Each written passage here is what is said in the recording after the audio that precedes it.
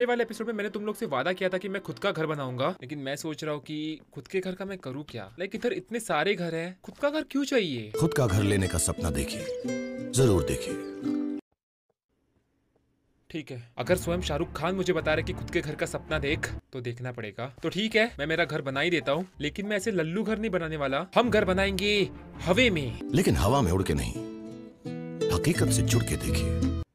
ठीक है। हम लोग हवे में घर नहीं बनाएँगे लेकिन मैं जो भी घर बनाने वाला हूँ एकदम आलिशान और बड़ा होने वाला है। कुत्ते की जगह एंडर ड्रैगन को पालूँगा मैं घर के अंदर। पर बड़ा घर बनाने के लिए बहुत सामान लगता है। उतने सामान का मुझे खुदाई करना पड़ेगा। तो छोटा घर ही बनाऊँ क्या? बड़ा घर लेना थोड़ा मुश्किल लगे तो कोई बात नहीं। थोड़ा छोटा घर लेने के बारे में सोचिए। शाहरुख खान के पास हर जवाब का सवाल है।